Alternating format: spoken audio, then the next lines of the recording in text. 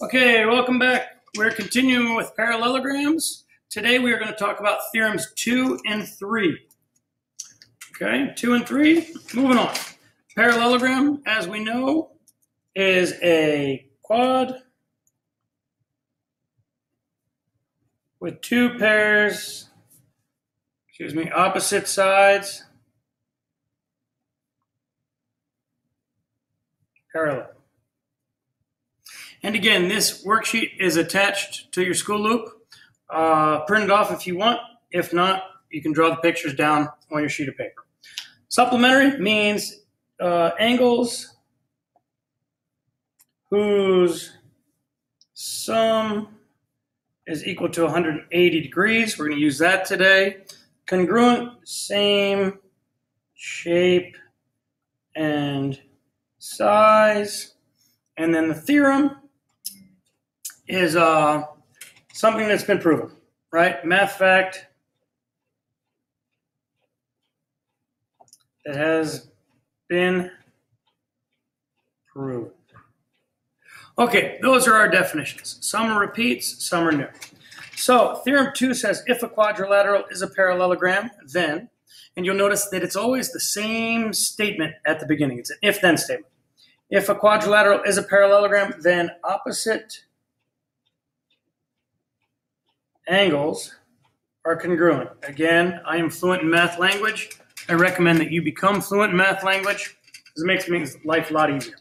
Opposite angles are congruent. I'm going to slide it up a little bit. So if I label my quadrilateral A, B, C, D, I'm going to say opposite angles. So A and C are congruent. So A is congruent to C, B is congruent to D. And one thing you can look at, you can look at and see that this angle, A, is an obtuse angle, and C is an obtuse angle. If they're both obtuse,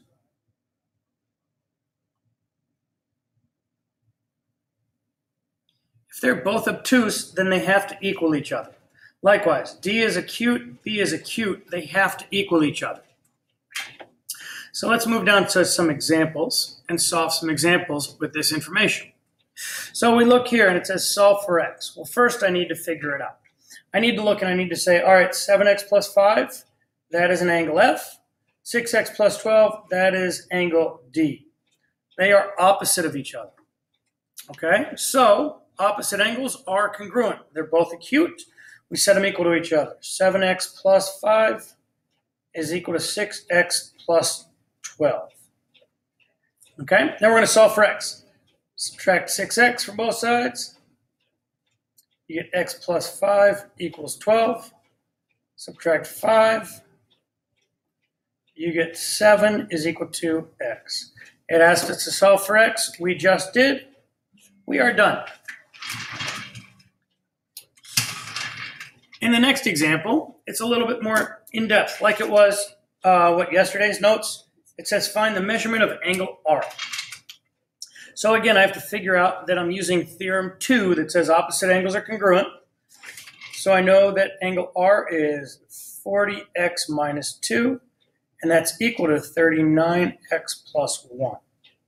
And now I'm going to solve for x. Subtract 39x you get x minus 2 is equal to 1. Add 2 to both sides. You get x equals 3. So we found out that x equals 3, but that's not what the problem asks. The problem asks for the measurement of angle r. So I'm going to take my 3 and I'm going to plug it into 40 times 3 minus 2. 40 times 3 is 120 minus 2 is 118 degrees. Now, 118 degrees here, I look back at the angle, I notice that it is obtuse, and 118 degrees is greater than 90, so I know that I'm correct, or close to correct. Okay, let's look at theorem 3. Theorem 3 says if a quadrilateral is a parallelogram, then I'm going to say adjacent angles are supplementary.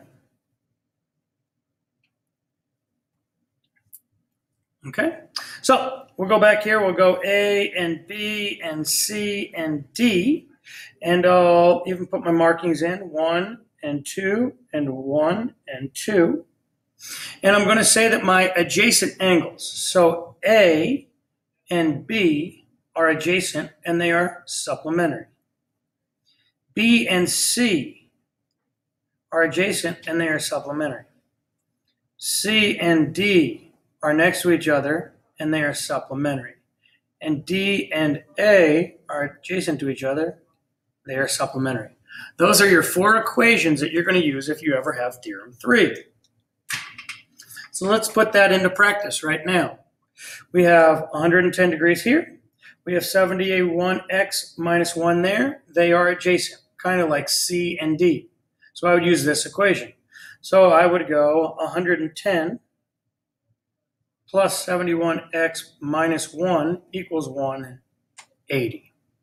110 minus 1, so I have 71x plus 109 is equal to 180. Minus 109,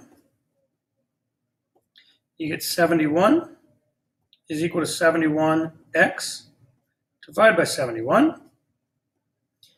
Cancel out, you get x is equal to 1. It asked us to solve for x. We did. Because they are adjacent and they are supplementary. The last one, again, another one that has a few more steps. Not tricky, just one more step. It says find the measurement of angle y. So I want to find the measurement of that angle. I first have to start off with solving for x. So I know 10x minus 8 is adjacent angle, y is adjacent to angle x. So I know that when I add them together, they have to equal 180. Sorry, I ran out of the box right there. I'll fix that in a moment. Now I'm going to solve this by combining like terms. I have my 10x and my 8x, so I get 18x. I have a negative 8 and a positive 8 there, and they cancel each other out. So I have 18x is equal to 180. Divide by 18, divide by 18, and you get x is equal to 10. I've solved for x, but now I need to take that and substitute it back in for my angle. So 10x, 10 times 10, minus 8, and this is angle y, right? Angle y is equal to this, 10x minus 8, and that would be 100 minus 8, which would be 92 degrees.